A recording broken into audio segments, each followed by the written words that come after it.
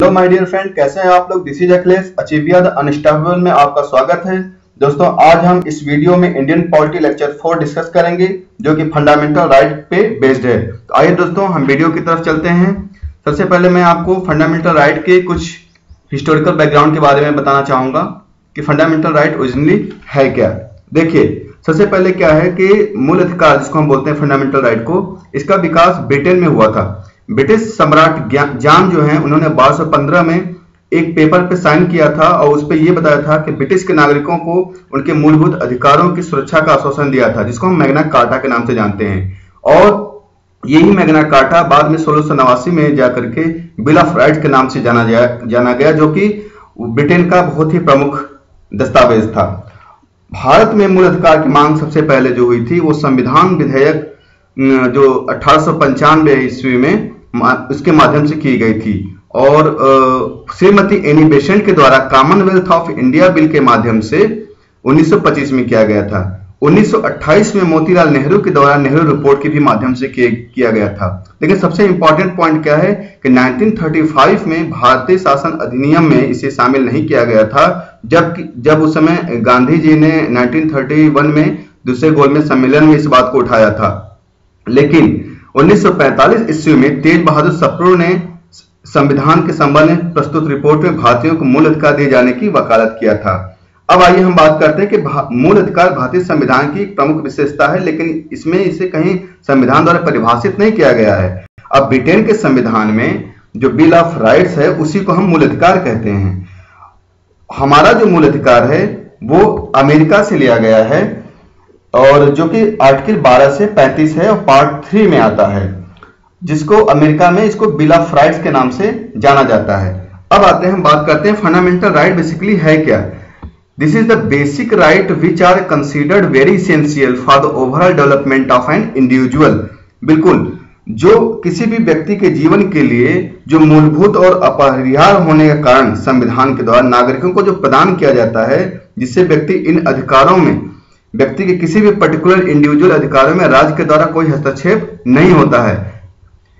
और ये जस्टिसिएबल भी है। मतलब यदि आपका मूल अधिकार का हनन होता है, अगर वायलेट होता है तो आप इसके लिए सुप्रीम कोर्ट का दरवाज़ा खटखटा सकते हैं। और वहाँ पे इसके लिए आपको उचित कार्रवाई के बाद जो भी अगर आपके साथ अन्याय हुआ है तो आपको इसका न्याय ज़रूर मिलेगा। अब इसमें हम बात करते हैं कि फंडामेंटल राइट में कि फंडामेंटल राइट ओरिजिनली है कितने? देखिए, हमारे यहाँ फंडामेंटल राइट वास्तव में मौलिक रूप से सात थे, लेकिन चौवालीसवां संविधान संशोधन अधिनियम जो 1978 में हुआ था, उसमें जो राइट टू प्रॉपर्टी है, उसको हटा दिया गया था। और राइट टू प्रॉपर्टी को वहाँ से हटा करके उसको 300 ए में जाकर के एड कर दिया गया था। तो अब जो भारतीय नागरिकों को कुल छह मूल अधिकार प्राप्त हैं, वो कौन कौन से हैं?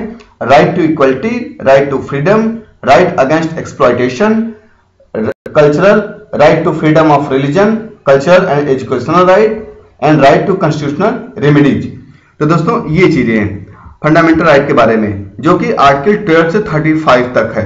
अब हम आते हैं आर्टिकल 12 की बात करते हैं। देखिए आर्टिकल 12 में जो है वो स्टेट को डिफाइन किया गया है। अब बेसिकली स्टेट का क्या मतलब यहाँ पे होता है? स्टेट को डिफाइन करने का मतलब ये है कि जो फंडामेंटल राइट right है, वो all government of country or state इसमें कुछ प्रमुख चीज़ें होती हैं जिसके बारे में बताया गया है। इसमें परिभाषा की गई है कि जिसमें, इसमें क्या है कि भारत की सरकार एवं संसद, उसके बारे में बताया गया है।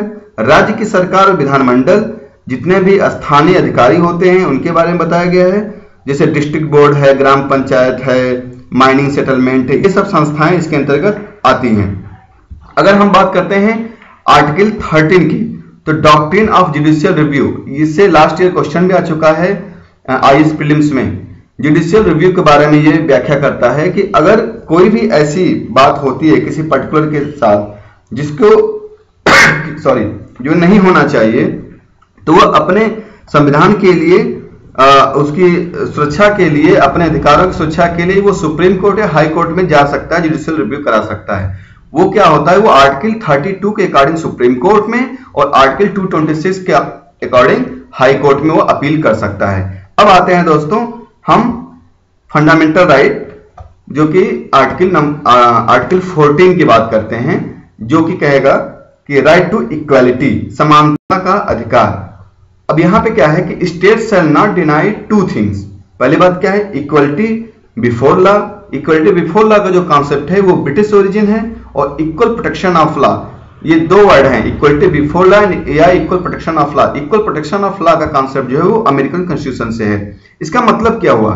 लॉ इक्वल फॉर ऑल मतलब इंडियन टेरिटरी में रहने वाले सभी लोगों के लिए समान अधिकार और उनको समान रूप से उनको उनके प्रोटेक्शन की बात की जाती है। ये एक पार्शियल डिस्क्रिमिनेशन है। Like should be treated alike मतलब जो जैसा है, उसको उस तरीके से उसका अधिकार मिलेगा। भारत में सभी व्यक्तियों को विधि के सम्मत, समता और विधियों को समान संरक्षण ये प्रदान करता है। जैसे मान लीजिए इनकम टैक्स की बात करते हैं। इनकम टैक्स क्या है? ये जो धनी लोग होते हैं, जो रिच पर्सन होते हैं, उनके लिए इनकम टैक्स ज़्यादा है, जो गरीब लोग होते हैं, उनके लिए कम है। तो ये इस बात की बताता है कि लॉ ऑफ़ इक्वलिटी यहाँ पे फॉलो होती है। आर्टिकल 15 की बात करते हैं। देखिए, आर्टिकल 15 क्या है? आर्टिकल 50 कहता है कि state shall not discriminate on the basis of religion race caste sex और place of birth but state can make special provision for women and children basically इसको हम वुमेन रिजर्वेशन एक्ट के भी नाम से जानते हैं। यहाँ पर वुमेन और चिल्ड्रेन को एक विशेष प्रोविज़न दिया जाता है उनके विकास के लिए। कहता है कि अगर किसी भी, कोई भी व्यक्ति है अब लेकिन उसके ऊपर जगह हम धर्म का, मूल का, जाति का, या उसके जन्म स्थान का, इन सब, या लिंग का, इन सब के आधार पर उसको हम विभेद नहीं किया जाएगा। चाहे वो किसी भी जगह पे हो, किसी भी चीज़ के लिए किया जा रहा हो। State can make special provision for socially and educationally backward classes जो लोग सोशली या एजुकेशनली बैकवर्ड हैं, उनके लिए स्टेट जो है, कुछ स्पेशल प्रोविज़न कर सकता है।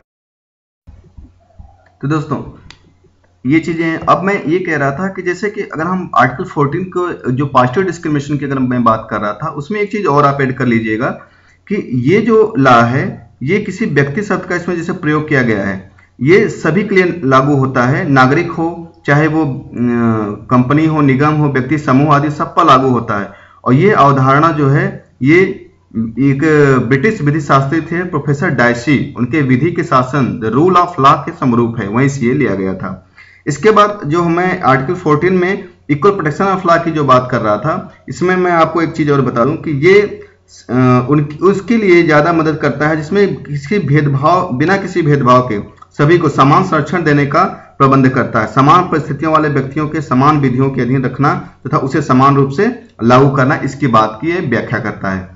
इसके बाद आर्टिकल 15 को जो हम लोग डिस्कस कर रहे थे कि इसमें संविधान के अनुसार जो है कि राज्य में स्त्रियों और बच्चों के लिए विशेष प्रबंध कर सकता है। उनको सामाजिक और शैक्षणिक रूप से पिछड़े हुए अनुसूचित जातियों और जनजातियों के लिए विशेष प्रावधान की, करने के लिए छूट राज्य को देता है और सार्वजनिक नियोजन में जैसे विशेष प्रावधान की छूट राज्य को देता है। अब अगर हम बात आते हैं आर्टिकल 16 की अगर हम करें तो आर्टिकल 16 क्या कहता है कि there shall be equality of opportunity in method of employment under the state इसका मतलब क्या हुआ? कि कोई भी व्यक्ति जो है, उसको किसी भी जगह पे अगर उसको जॉब करनी है या लोक नियोजन में अवसर की समानता को प्रदान करता है कि सबके लिए ही ये रूल लगेगा, सब लोग इसके लिए बराबर होंगे। Employment under the state no discrimination on the ground of only religion race caste sex या प्लेस ऑफ़ बर्थ इसके बिहाफ पे या इसके बेसिस पे किसी का डिस्क्रिमिनेशन नहीं किया जाएगा। ये हमारा आर्टिकल 16 की इसमें व्याख्या होती है। आर्टिकल 17 की अगर बात करें, ये बहुत इंपॉर्टेंट है।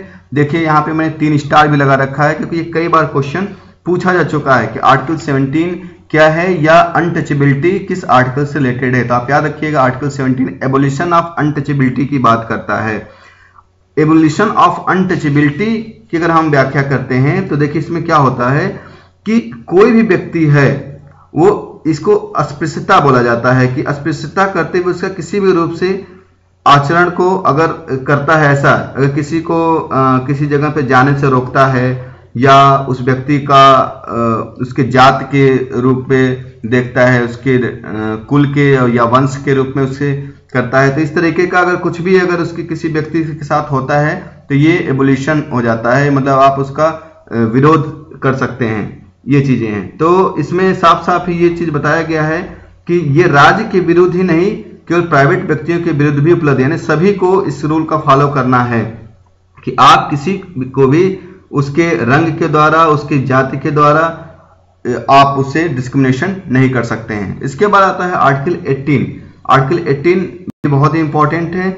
ये उपाधि जो होती हैं, राज्य को उपाधि प्रदान करने तथा नागरिकों और अनागरिकों को उपाधि ग्रहण करने के बारे में इसमें डिस्कस किया गया है कि state can not confer title no Indian can accept any title from foreign state educational and military achievement are not titles for the meaning of article 18 मतलब अगर आप शैक्षणिक संस्था हैं या मिलिट्री एक्सरसाइज मिलिट्री जो संस्था होती हैं, जो सैन्य हैं, उनके अचीवमेंट को छोड़ करके बाकी कोई भी आप, इसके अलावा कोई भी उपाधि आप बाहर से नहीं ले सकते हैं, विदेशी राज्य से कोई उपाधि ग्रहण नहीं कर सकते हैं। इसमें साफ़ साफ़ इस बात का मना किया गया है। जैसे भारत रत्न और पद्म अवार्ड है, सुप्रीम कोर्ट कहता है कि भारत रत्न और पद्म अवार्ड जो है, ये सम्मान है। ये जो 1954 में बताया गया था। तो उसके तहत आप इनको ले सकते हैं, लेकिन आप अपने नाम के आगे या इस तरीके से आप इसको ऐड नहीं कर सकते हैं, ठीक है? जैसे कि उपाधि को अलंकित नहीं किया जाएगा, क्योंकि इनका प्रयोग किसी व्यक्ति के नाम के साथ आगे पीछे नहीं किया जा सकता ऐसा किया जाएगा तो वहाँ पे थोड़ा सा डिस्क्रिमिनेशन की बात आ जाती है मतलब कि वो एक अलग स्टेटस हो जाता है, जो कि इक्वलिटी नहीं हो गए किसी भी जगह पे। अगर हम आगे बात करते हैं आर्टिकल 19 से 22 की, जो राइट टू फ्रीडम से रिलेटेड है। राइट टू फ्रीडम में पहली बात तो मैं आपको बता दूँ कि सिक्स बेसिक फ्रीडम होते हैं इसमें। सिक्स बेसिक फ्रीडम और आर्टिकल जो जो 19 का सेकेंड टू सिक्स है, वो रिस्ट्रिक्शन है कुछ पॉइंट्स को लेकर के। जैसे अगर हम 19 की वन ए की बात करते हैं तो freedom of speech and expression है। मतलब क्या है कि कोई भी व्यक्ति यहाँ पे अपनी बात को एक्सप्रेस कर सकता है अपने भावनाओं को प्रकट कर सकता है, बोल सकता है। लेकिन उस पर कुछ बाउंडेशन या लिमिटेशंस हैं कि वो ऐसा कुछ नहीं बोल सकता है जिससे कि समाज में अराजकता फैले या उससे कोई विरोध या किसी को हर्ट हो। प्रेस की यहाँ पर फ्रीडम है एक्सप्रेसिंग व्यू ऑफ़ अदर्स आप प्रेस के माध्यम से अपने व्यू को रख सकते हैं और ये कॉन्स्टिट्यूशन की तरफ़ से इसको काफ़ी ज़्यादा डिटेल में इसको स्वतंत्रता दी गई है। 19 बी में बात करते हैं फ्रीडम ऑफ़ असेंबली की है।